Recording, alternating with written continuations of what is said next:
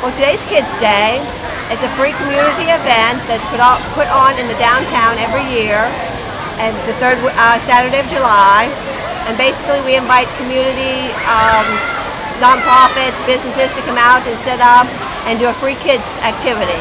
And then the downtown businesses do some kind of free activity, and then the restaurants offer a um, kids some kind of kids meal. Over 100 vendors and businesses uh, participating today. Well, first of all, the community loves this event. I mean, it's a way that they can come downtown, they can enjoy themselves.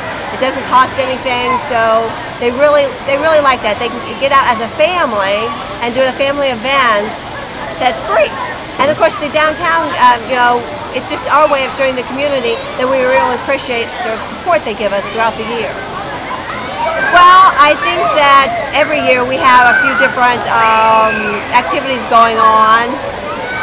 There, I know that on Wall Street, the Classic Cuts was giving away free hot dogs, which was great. That they were they were basically feeding everybody. And then you know we have we just have every all events. We have all kinds of events that I couldn't name. You know we have face painting, bounce houses, sandboxes.